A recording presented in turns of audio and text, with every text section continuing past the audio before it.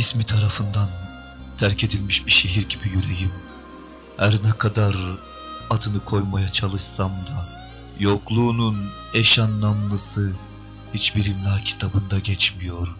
Sanki Türk Dil Kurumu yasaklamıştı yokluğunu. Gittiğin günden bu yana bu şehir çok değişti.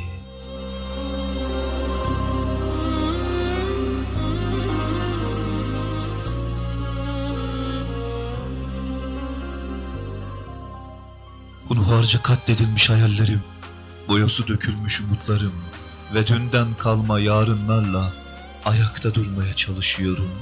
Gitme diye bütün pabuçlarını dama atmıştım halbuki. Biliyorum bir gün bu şehir getirecek seni bana. Kim bilir belki bir dolmuşta şuradan bir öğrenci uzatır mısın diye vurduğumuz omuz seninki olacak. Şimdi hangi şehir alıp basar bağrına bizi? Hangi şehir hikayesine kahraman yapar? Hangi şehir büyütür çocuksu düşlerimizi?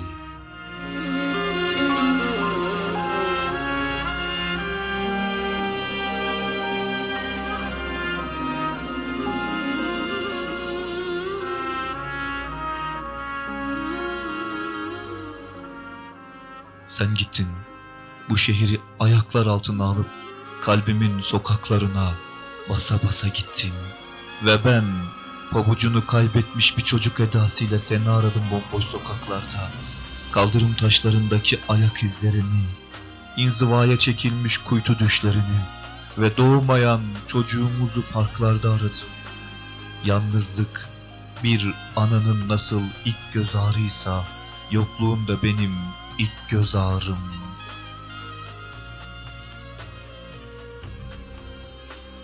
Hani küçükken kalbine ne koyarsan seninle beraber o da büyürmüş ya.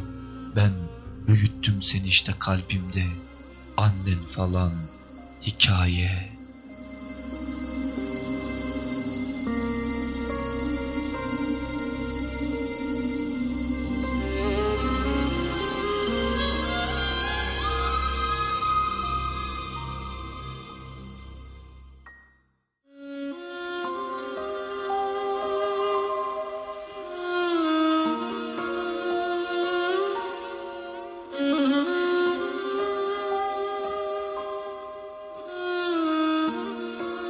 Şimdilerde adın adım adım sürükleniyor kalbimin bomboş sokaklarında.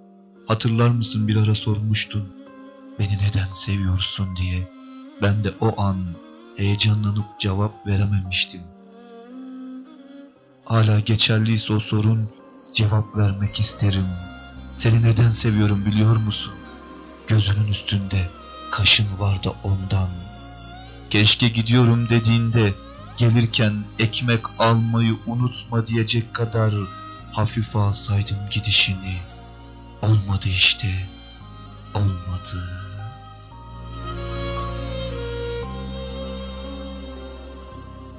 Ben kahvaltını hazırlayıp senin gelmeni bekledim.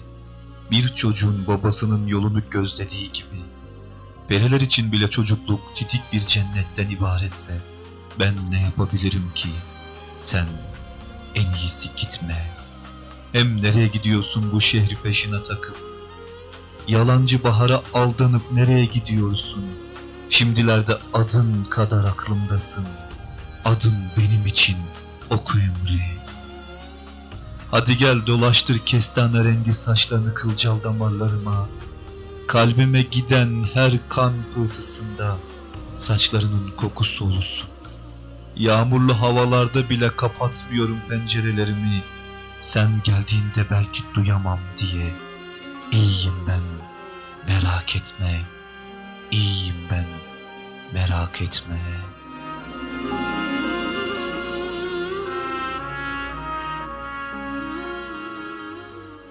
Oradan buradan birkaç dal sigara. Birisinden kibrit otlanıyoruz işte.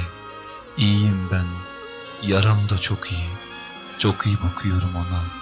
Mesela her nefeste biraz daha büyüyor başkalarının ateşinde. Parmağını sürecek oje bulamayışın mı hala tek derdin? Ya da kırmızı ile pembe arasında kalmam mı hüzünlendiriyor seni? Hani bana bazen her aklına geldiğinde seni seviyordum diyordun ya. O an kendime olan öfkem kızıl bir duman gibi yayılıyordu içime. Sonra yavaşça soğuyarak küçülüyor, küçülüyor ve yerini yine hasrete bırakıyordu. Şimdilerde o iki kelime kulağıma küpeden ibaret. Gidiyorum dediğin günden bu yana yoksun bu şehirde. Kuru bir gitme sözcüğü dökülmüş doğan dudaklarımdan. Gözyaşlarıyla karışık. Öyle kuru, öyle ıslak, öyle uzak. Sahi bu kadar kolay mıydı her şey? Bu kadar yakın mıydık bu ayrılığa? Her neyse...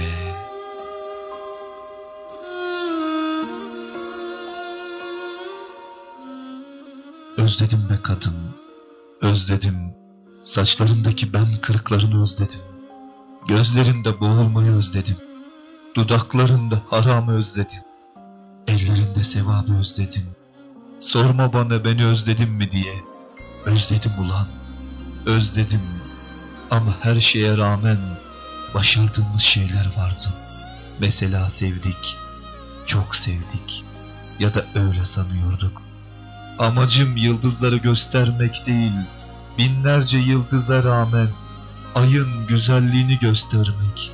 Bitti değişin öylesine değil, öylesiyeydi.